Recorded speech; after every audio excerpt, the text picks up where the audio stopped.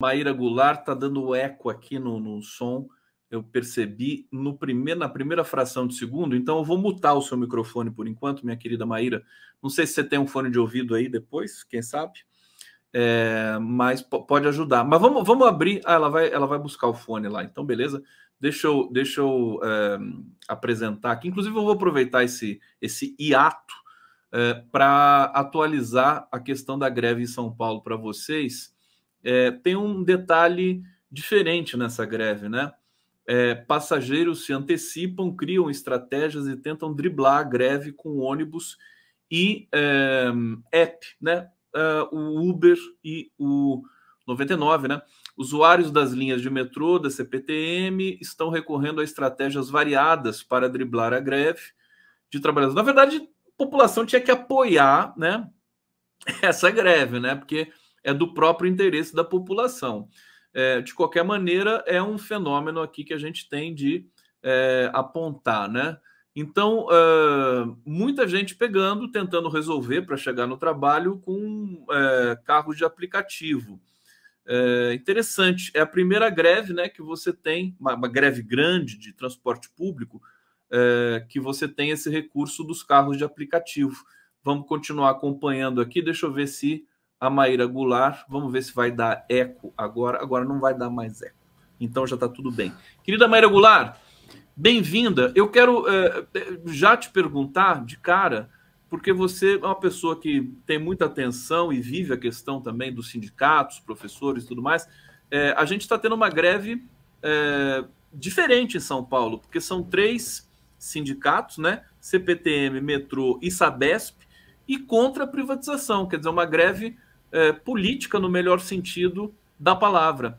Fala um pouquinho para a gente de como você lê esse momento a, na Grande São Paulo, nesse momento aqui. Olha, vejo com muito bons olhos o movimento dos trabalhadores do setor de transportes reagindo a processos de privatização que não são exclusivos desse setor, mas que estão sendo levados a cabo com muito pouco benefício para a população, né? É, e o que mais me espanta, já pensando enquanto sindicalista nessa greve, é a pouca solidariedade dos outros trabalhadores, né? É, isso é muito interessante porque dentro do movimento sindical do qual eu faço parte, que é o movimento docente, toda hora é, se fala em classe trabalhadora, classe trabalhadora para lá, classe trabalhadora para cá. Eu sou muito crítica da utilização dessa terminologia, porque parece que é só um grupo, é um grupão e que as opressões internas a esse grupo elas são subsumidas, né? Por exemplo, opressões de gênero, opressões de raça. Isso é uma das críticas possíveis ao conceito de classe. Mas a minha principal crítica ao, ao conceito de classe, principalmente classe trabalhadora, é que ninguém mais se identifica com essa categoria. Então ela perde capacidade de organizar. E essa, essa greve ela é muito interessante para ver o quão baixa é a solidariedade com esses trabalhadores, né? E de modo geral a população se colocando muito contrária. E isso é um desafio no dia de hoje, em particular. Eu achei muito legal você colocar isso na pauta, porque hoje, em particular, o movimento docente está em paralisação para pedir maiores, para pedir uma, uma negociação com o governo que vá para além desse ridículo 1% que o governo ofereceu para nós. Mas a gente fica sempre entre a cruz e a caldeirinha, Conde, porque olha só, se a gente paralisa, se a gente adota uma postura mais é, incisiva, a gente perde a sociedade. Porque a sociedade, de modo geral, um, passou por um período de extrema-direita em que a universidade foi desvalorizada, em que a solidariedade entre as pessoas foi desvalorizada. E aí a gente fazer uma greve nesse momento, a gente perde a sociedade. Perdão. Querida Maíra, não, não, só porque assim, esse, esse assunto é palpitante, inclusive para mim, nesses, nesses últimos tempos, também recebi aqui sindicalistas, o próprio Luiz Marinho, ministro do Trabalho, que tem essa clareza também com relação aos direitos. Ah, o evento nos Estados Unidos, em que o Lula falou junto com o Biden, a greve nos Estados Unidos dos trabalhadores de montadoras, né? O Biden indo lá para aquela para aquele piquete, né? Que a greve nos Estados Unidos é um pouco diferente das greves brasileiras, mas eu queria reforçar com você o seguinte, com o público aqui: a greve é, é talvez o instrumento mais sagrado da democracia. É, e a imprensa brasileira criminaliza a greve, sempre, sempre está criminalizando essa, essas greves em São Paulo nesse momento. Por isso que a sociedade fica é assim, não apoia, vamos dizer assim, uma, uma, um movimento grevista. Como mudar isso, é, sabendo, inclusive, que o presidente da República, né, ele apareceu para o mundo, para o Brasil, fazendo greve.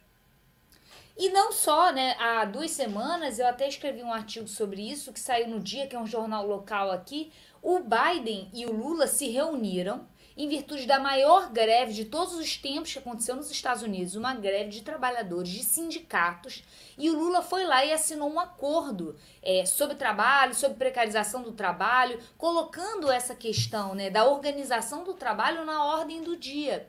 Porém, é, se no plano das entidades é, esse movimento está acontecendo, no plano da sociedade civil, para mim respondendo a sua pergunta, esse é o desafio, né? É, da mesma forma com o tema que a gente vai trabalhar depois, que é segurança pública, o maior desafio não está no plano do governo, no plano do direito, no plano das instituições. Infelizmente, porque esse é o plano sobre o qual eu me debruço, eu estudo, eu trabalho, eu, eu atuo.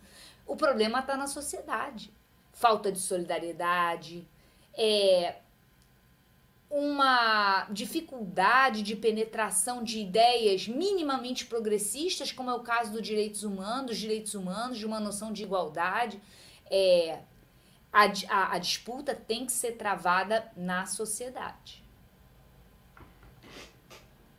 Tá aí Maíra Goulart aqui no Giro das 11, tá chegando comentários aqui. A gente vai comentar também a pesquisa Atlas, já está aqui no jeito para a gente apontar aqui os slides e a Maíra Goulart, uma pesquisa que passou meio batido, mas que é muito relevante, né, Maíra? Muitíssimo. E vai ser importante você apontar algumas questões aqui.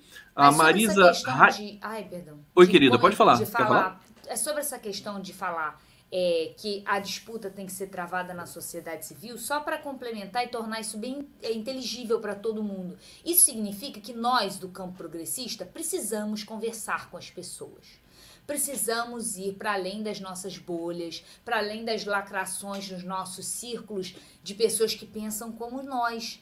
Né? Nós, enquanto é, aqueles que acreditam nesses valores, a gente precisa conversar com pessoas que pensam diferente. E é conversar não numa posição de passar informação, conversar no sentido de ouvir também, entender por que, que essas categorias não estão chegando para fora das bolhas.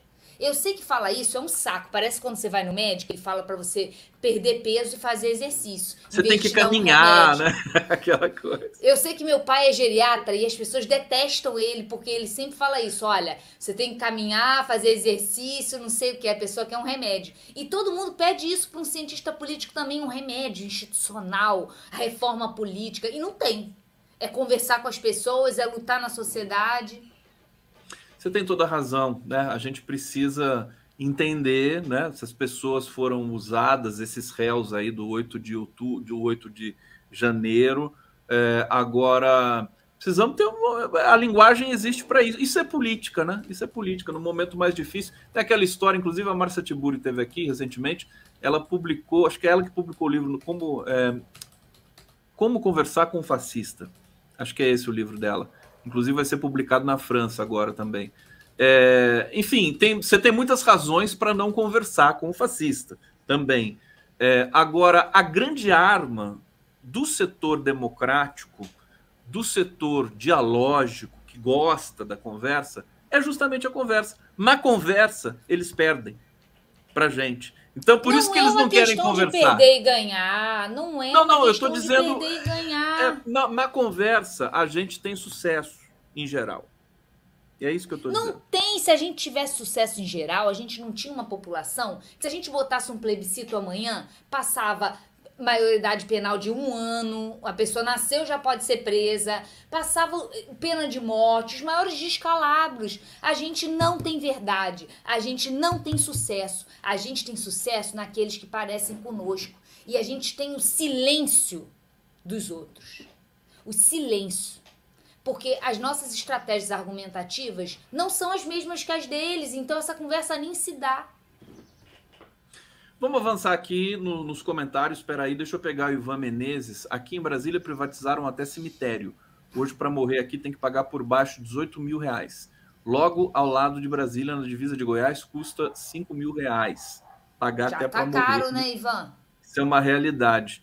É, Lucas da Silva Corrêa, no geral, os trabalhadores são solidários, porém estão muito mais expostos a represálias das empresas. É, Maíra, quer comentar? Essas... Quero sim. É, a gente tem na ciência política umas pesquisas até que são globais, né, não são específicas do Brasil, que mostram que quanto mais desigual é uma sociedade, menor a solidariedade entre os seus membros em geral. Isso para dialogar com aquela, com, aquela com aquela pergunta, aquela interação, que diz que é, os trabalhadores até são solidários, mas temem represálias.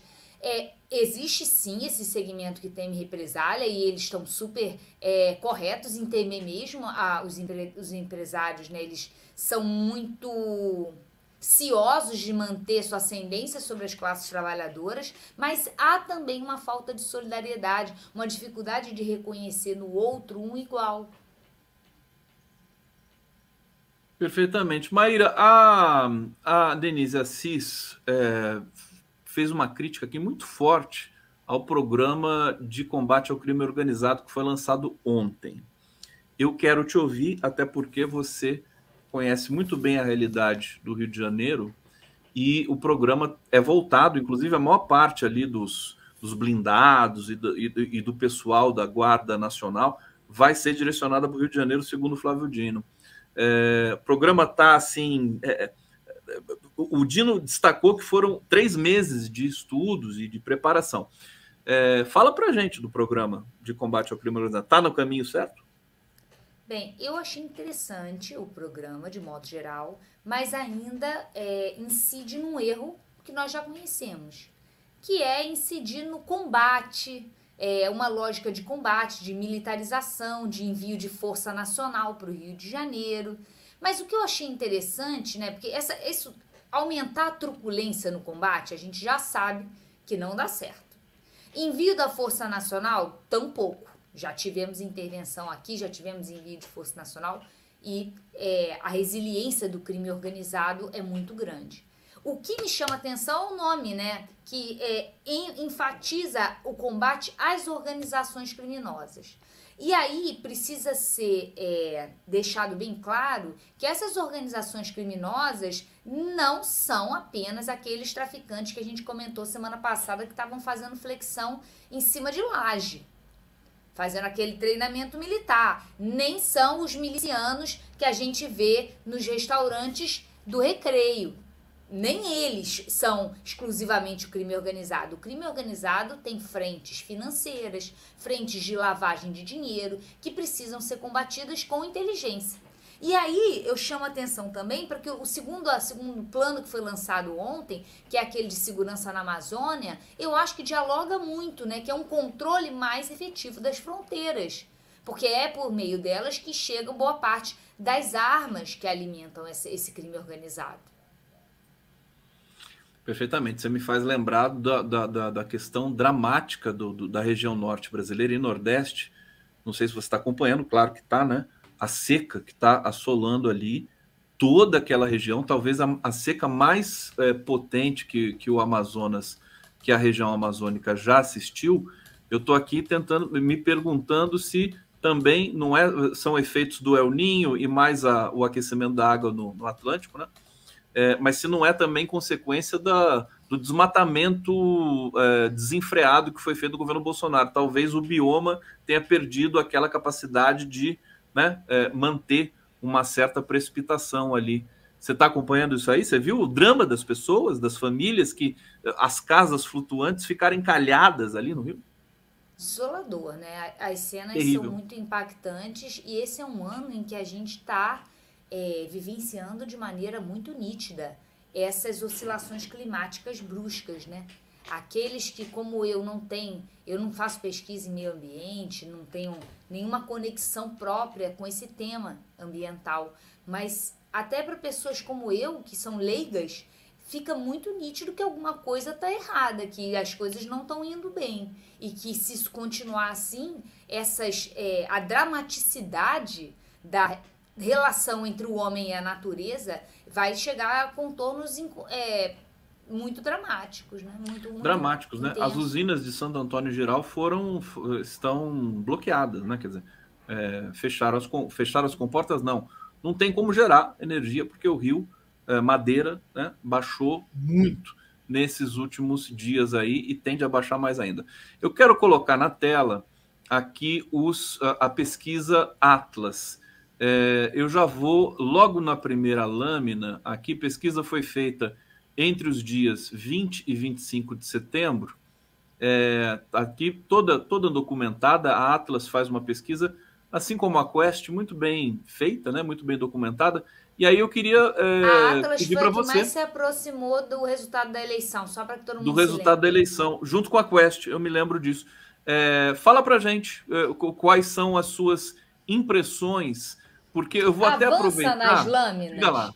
Vai na lâmina 9, se eu não me engano, 9. é a 9. É a que tem é, a estratificação. Essa aí, para aí. Essa. Para tá aí. bom. Olha uma coisa que eu acho interessantíssima aqui para a gente analisar. Não sei se você consegue dar uma aumentada, mas não, o pessoal bota a lupa. É, quando a gente vê, para mim esse é o principal resultado dessa pesquisa e eu acho que ele é de cair o queixo.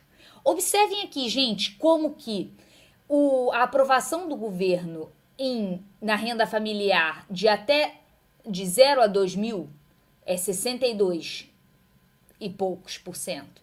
E acima de 10 mil também. Isso é muito relevante, gente. Por quê?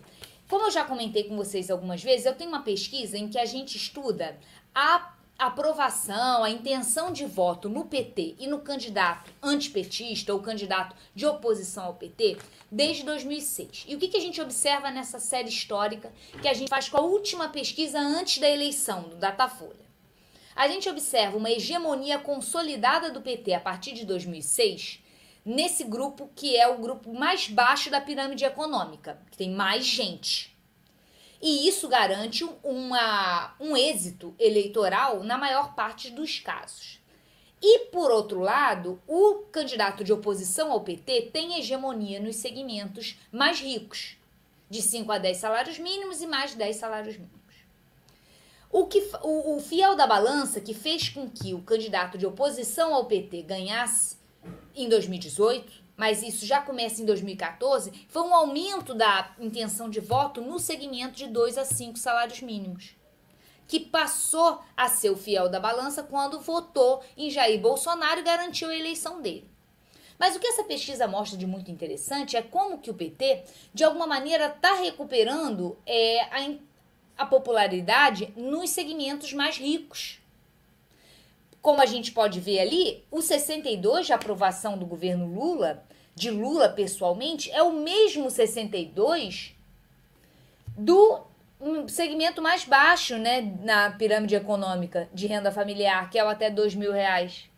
Então a gente vê uma recuperação nesse filão é, de renda mais elevada e, e continuamos vendo como que essa classe média ainda é resistente ainda há uma certa resiliência ali. E esse é o segundo dado que eu acho interessante nessa pesquisa. São vários indicadores que aparecem na pesquisa de que o bolsonarismo ele é resiliente ainda. A própria aprovação é, da figura do Bolsonaro, que está em 46%, subindo, ela é muito próxima da aprovação da Tebet. Ela é igual, ela é igual à da Tebet, igual à do Haddad. É, perde para o Lula, assim, que está com 51, mas é muito resiliente para uma figura cujas investigações cujos escândalos. Tanto. Então, então vamos, vamos entrar um pouco nesse, nesse campo, que eu acho importante a gente trazer aqui para o nosso internauta, que é o seguinte. É, inclusive, mais uma vez vou lembrar da Quest, porque o Felipe Nunes, viu o Felipe Nunes, que é o diretor da Quest, dizendo uh, algo nesse sentido também. Não basta mais né? Ah, como a, as questões mudaram, inclusive de avaliação pública, né? De popularidade e tudo mais. Por exemplo, se o governo Lula oferecer uma economia melhor, né? Que é o que está acontecendo, melhores salários, desemprego em queda, inflação controlada, isso 20 anos atrás era suficiente para o governo se reeleger facilmente. Hoje não é mais, né? Hoje existe esse plano da comunicação, existe esse plano. A gente vê o Bolsonaro acusado de vender joias, é, de várias coisas, quer dizer, ele quase gabaritou o Código Penal e ele continua popular no, no, em, em, vários setores da sociedade brasileira. Né? É, ele, especificamente, talvez não, mas essas questões não é, rebatem mais, né? não ecoam mais numa, num, num certo eleitorado brasileiro. O que fazer, Maíra Goulart? Está no campo da comunicação ou mais coisas estão no horizonte? Voltamos para aquele nosso problema, né? É, o que fazer? Conversar com as pessoas. Conversar com pessoas que a gente não quer conversar, porque elas pensam muito diferente de nós.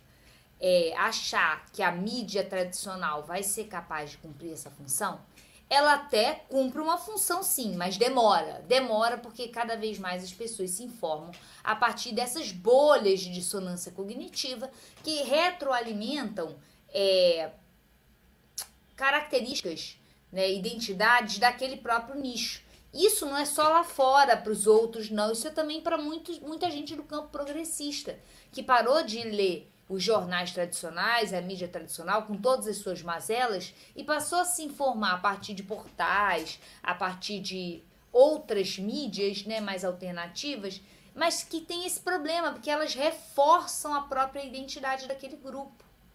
Então, vai perdendo, né, vão, vai se perdendo a capacidade de dialogar e compreender o outro porque você não, não tem acesso a esse outro no seu cotidiano e nem através da leitura, através do, do momento em que você está se informando.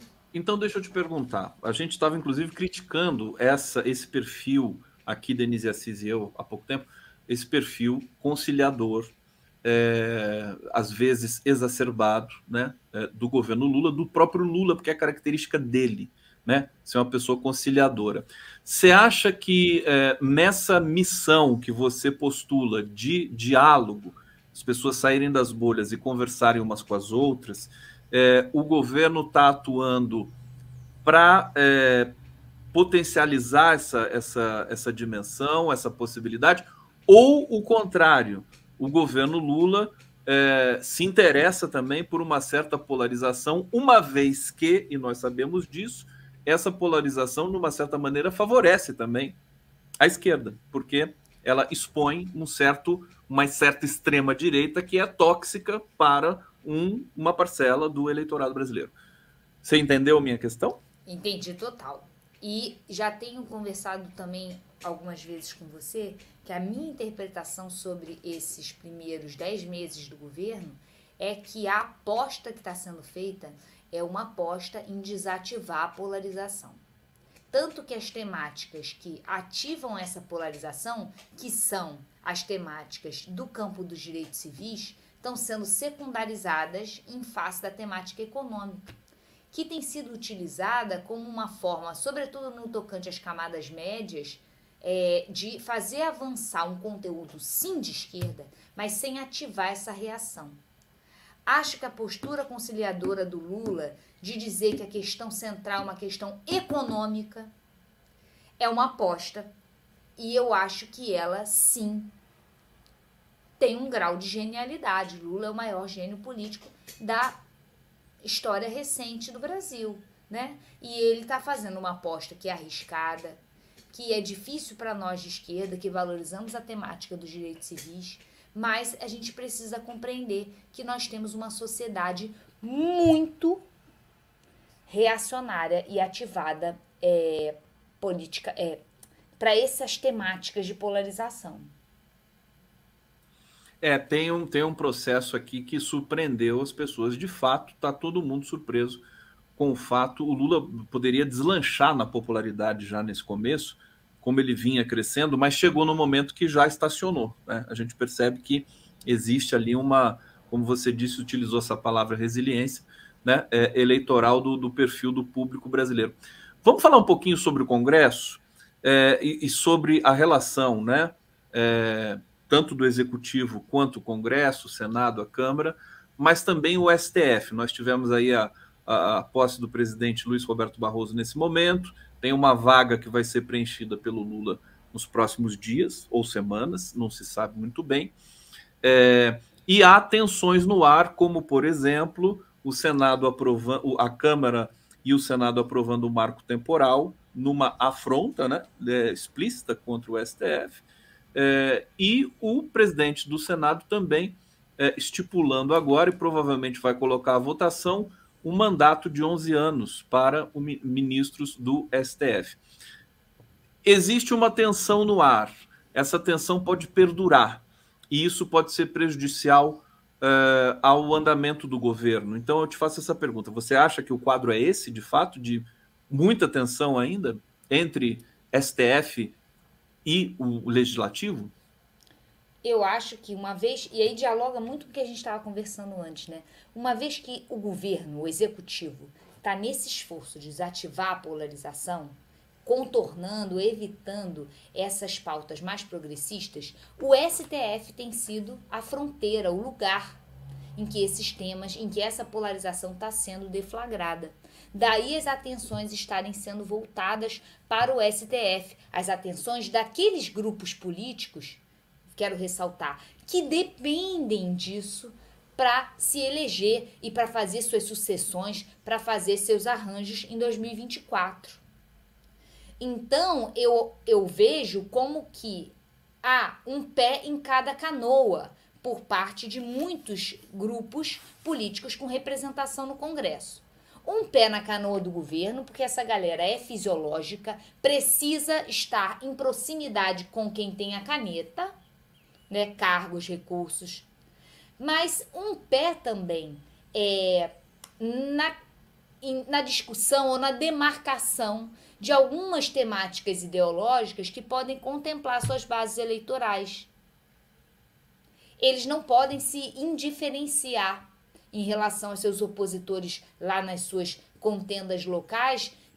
É, e essas temáticas ideológicas elas podem servir, no caso daqueles que têm é, sua base eleitoral em setores do campo, ligados ao agronegócio, ligados mesmo à agricultura familiar, mas aqueles que têm entendimentos conservadores da agricultura familiar. E aí a importância de manter acesa, manter viva essa disputa ideológica. A gente acabou de ver a eleição para o Conselho Tutelar, os conselhos tutelares no Brasil todo. E ficou também patente, evidente, que os setores é, é, religiosos, né, eles venceram as eleições, tomaram de arrasto nas periferias. Nos centros ainda houve ali uma resistência dos setores progressistas. E eu me lembro que as pessoas que vinham aqui falar sobre a, o Conselho Tutelar, as eleições, diziam assim: que se respeite a ECA, né? O ECA, o Estatuto da Criança e do Adolescente. O básico, né? Porque você sabe que tem uh, enfim, dentro de alguns setores dos evangélicos, que eles são críticos a esse tipo de uh, estatuto.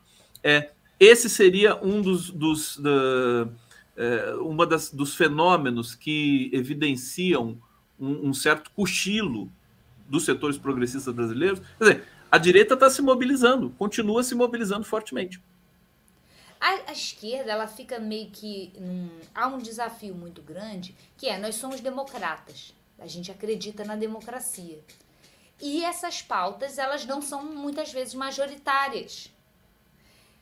Então há uma certa vanguarda de setores da política, de setores do direito, de nós na academia, e a gente precisa exercer essa função de vanguarda, claro e fazer essa fronteira ideológica pender para o nosso lado, mantendo a organização, mantendo, sobretudo, processos de mobilização e convencimento da sociedade civil. Novamente, não tem como fugir, gente, é caminhar e perder peso.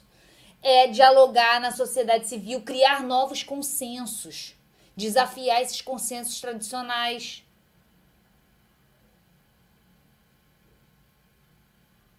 Tá aí Maíra Goulart aqui no Giro das Onze. Deixa eu pegar o comentário da Eliane. Esquerda tem que voltar a ser presente nas favelas, periferias, todos os lugares. A nossa desvantagem é que os canalhas usam as igrejas infestadas pelo Brasil para se elegerem. É, tem muita coisa é, que precisa ser, acho que, repensada. Eu estou até aqui imaginando e queria saber de você.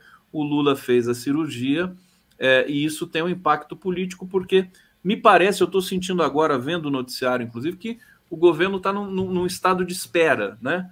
É, o Lula não está, ele está trabalhando, mas é um, é um estado de espera para ver as próximas ações. Tem aprovação é, de matérias importantes para a economia. Fernando Haddad já está ali em conversações com Arthur Lira. Como é que você está vendo esse momento que o, em que o Lula não vai viajar, em que ele vai estar tá mais presente? Você acha que ele pode é, digamos, é, equilibrar um pouco melhor a articulação política que deixou a desejar em alguns momentos do governo? Eu já ouvi essa, essa análise, eu vi ela ontem, aliás, numa reunião, mas eu acho que ela desconsidera um pouco da dimensão humana, porque eu acredito que o presidente possa estar sentindo dor e diferente desconforto, né? Um desconforto não é só físico, um desconforto mental por estar preso, por não estar com a sua mobilidade é, 100%. E eu acho que isso pode dificultar um pouco essa esperança geral né, de que o Lula aqui ele vai destravar, que ele vai fazer, que ele vai acontecer, que ele vai articular. Só que, gente, foi uma operação. Ele não está no Brasil na CNTP. Ele está no Brasil numa situação de resguardo, de cuidado. Ele é um idoso. Eu acho que às vezes a gente ignora essa dimensão humana. É claro que ele não é um homem comum, que eu acabei de dizer que ele é o maior gênio político da nossa história. Ele é sim o nosso super-herói particular, mas tá doente, acabou de fazer uma operação drástica, né? Vamos lá. Mas você viu que ele já se recuperou em tempo recorde, né? você já sentiu que ele é um fenômeno, né? Eu acho que quando a pessoa Nosso tem super-herói particular, super-herói particular, ele tem uma obstinação tão grande, né, para trabalhar e para cuidar e tá vendo a, a urgência que, da qual o Brasil precisa, que ele realmente é assim, né? Quando a gente tem esses, essas metas, a gente sara mais rápido também, né, Maíra? Não é assim Olha, que acontece. eu posso dizer que eu sou, nesse ponto, muito parecida com Lula, mas não é que a gente sare mais rápido, é que a gente é tão focado, tão nerd, que a gente não se permite descansar, fazer repouso, seguir as recomendações do médico de repouso, da coisa toda. Duvido que o presidente Lula esteja seguindo todas as recomendações de repouso que seriam cabíveis para uma pessoa idosa que acabou de fazer uma cirurgia.